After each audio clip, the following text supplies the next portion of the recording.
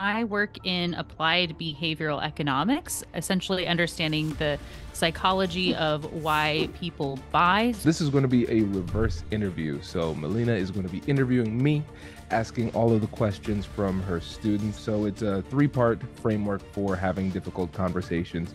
So, step one is acknowledge and validate the emotions. Then, we're going to stop and get curious with compassion. Then, lastly, we are going to utilize joint problem solving.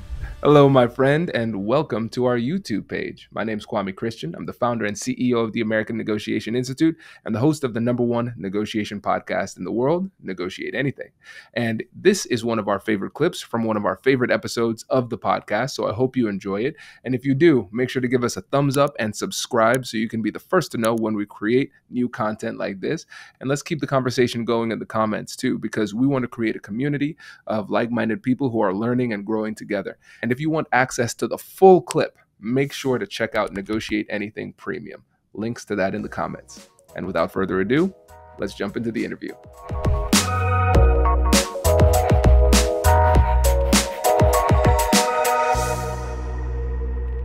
Realized something, Melina. It was last year that I realized this. I was thinking to myself, when it comes to the media type of deals that we've been able to strike, I feel like we've been punching above our weight. Mm. And I'm like, why is maybe I'm am I just getting lucky with these types of things? And then I sometimes the most obvious thing is the hardest thing to appreciate. And I realize the reason I'm getting better deals than I should is because I'm negotiating these deals, right? The we've had two network deals. We're on we had we're on Acast and that was at a time where it was still relatively small but i believe they had pbs newshour and the bbc on acast it's a network out of sweden they're big and then we're able to parlay that to the relationship with the linkedin podcast network and so again that was massive for us. And so that was a, a really unique deal because it wasn't just the the money coming from being on the network from monetizing and listening to those ads. Don't skip those ads people. We can see. That's how we get paid. We so love an ad. that, that was part of it but with that deal we were able to also get a content manager. So every week i'm meeting with somebody teaching me about the linkedin algorithm. We're able to learn, understand different uh, strategies. We're able to collaborate and have these opportunities to be on the ceo of linkedin's podcast and these type of unique opportunities. Same with forbes right? It was the negotiations from the relationships that I created, negotiating my way through the company, and then landing the deal. Now we write for Forbes. Same with Audible. And so, really, when it comes down to these opportunities that we've gotten over the course of the years, our ability to negotiate and advocate for ourselves were really was the the quintessential element to our success because we wouldn't be able to have these opportunities if we weren't negotiating for them. And I've been able to have a lot more confidence in shooting these shots because I know that if I can at least get in a conversation, I can communicate the value in a way that's mutually beneficial. And even though it might not seem obvious to the person on the other side, where the opportunity is, I can use these negotiation skills to find that opportunity and close deals. So I don't think we would be where we are today if we weren't really good at what we did. Yeah, I think that really ties in actually to the next question here, which is asking says, love to ask Kwame whether or not he has had experience with or can see how this framework could be applied in a sales conversation or even in marketing. which it could just be yeah. like see above. I know just... it's funny because the uh, you I'm surprised you didn't mention anything about the fact that I am very red today.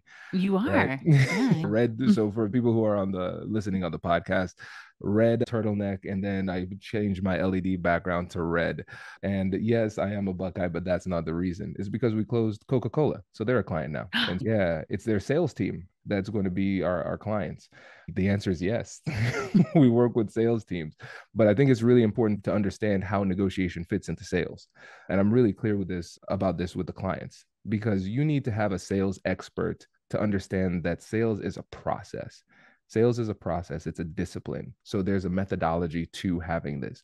But within the conversations the sales conversations you sprinkle in the negotiation techniques. So you're negotiating within the sales process. So that's where those the skills are complementary but also distinct.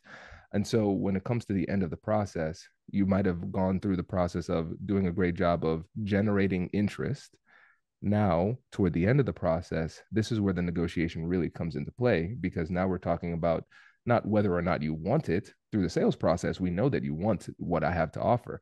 Now we're negotiating to figure out what are the details of the deal that actually get us across the finish line. That's where the negotiation comes into play. And so when you're able to not only know how to negotiate, but also know how the negotiation fits in within an, a really robust sales process, it's that synergy of those two skill sets that leads to the best deals. And this brings us back kind of full circle to the person who asked the first question I asked had also asked in a negotiation, you can choose to make the first offer or wait to hear the first offer. And the strategy used varies depending on the counterpart, the data asymmetry, among other factors.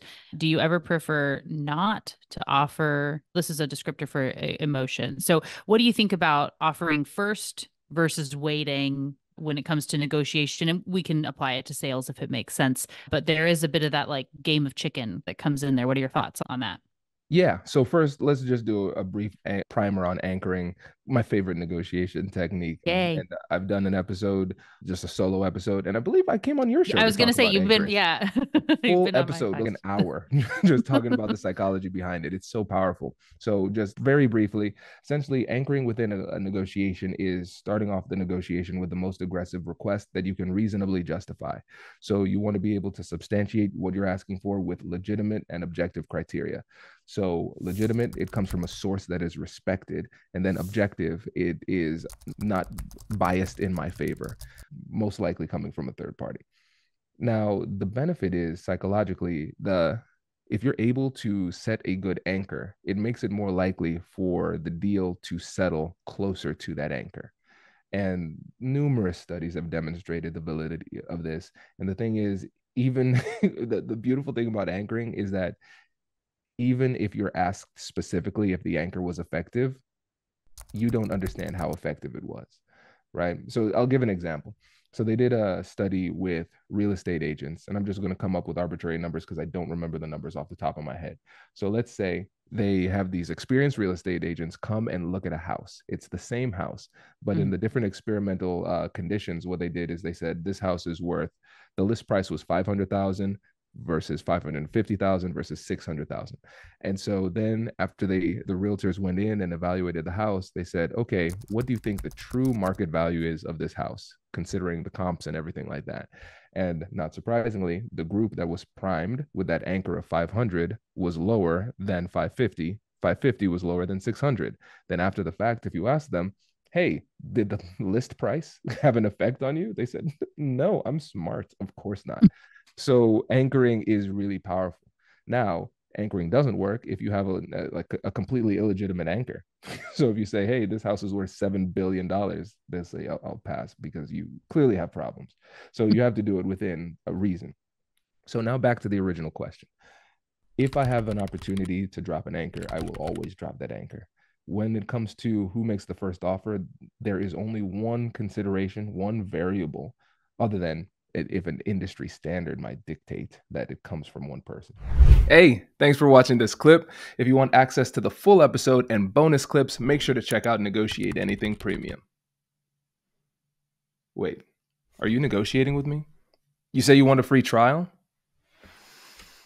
You drive a hard bargain, but I will accept your offer. Click the link in the description for a free trial of Negotiate Anything Premium. I'll see you in there.